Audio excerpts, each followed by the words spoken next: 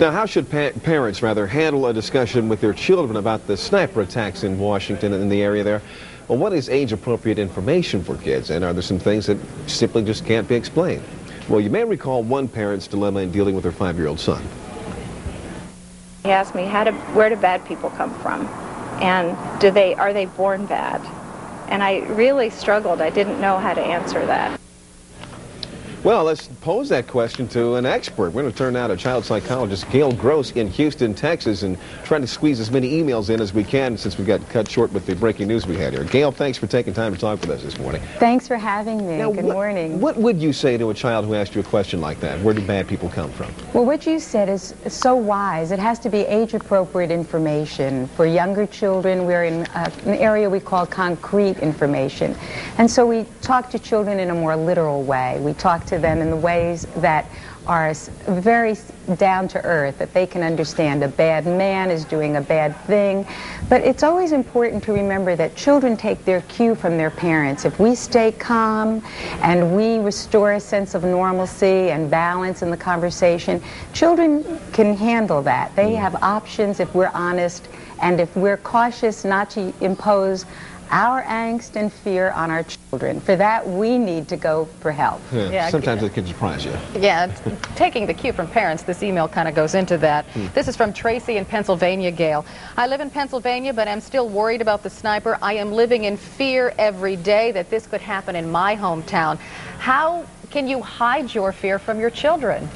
Well, you know, uh, this is such a great opportunity to connect with our children. We don't have to hide our fear. We have to put it back into balance. We have to know the rules in new situations and construct programs with our children and, and, and involve them in that so that they feel empowered. Ways of dealing with this fear, ways that are, you know, constructive, that have a plan, that we, we take that plan and practice it and rehearse it, Mm-hmm. that we incorporate them in the plan that restores control, gives them a sense, in a sense, that they have something to do with this and that they can handle it. Okay. Uh, let's get to the next one here. We've got, uh, it doesn't have a name on this one, but this is coming from a parent. I'm a parent of two children at Colonial Heights Public Schools. You may be familiar with that area, Carol. In that area, this. right. Okay. Uh, this parent says, I do not think it is safe for our children to be in school at this time, so why is the school board sending them to school? Now, uh, what happens when the child and parent has that discussion? Well, you know, again, this is a great opportunity to bridge the community and the family and all of us together. And what we have to do is not be in, uh, using up so much energy and being afraid, but taking that energy and using it in a positive way. New ways to go to school, for example, a back entrance, PE in the auditorium instead of outside. We just have to change our lexicon and the way we're doing things for this period of time. Mm-hmm. Okay, And- Gail, Gail, before we get to our next email question, I just had a thought about sending children to school. The schools are open in Montgomery County today, Montgomery County, mm-hmm. Maryland, and some parents are deciding not to send their children to school even though they may be open. Should you send your children to school? It's such an individual approach. You know, we have to make our own choices, but my uh, reasoning is this. I think we're using up a lot of energy empowering this terror.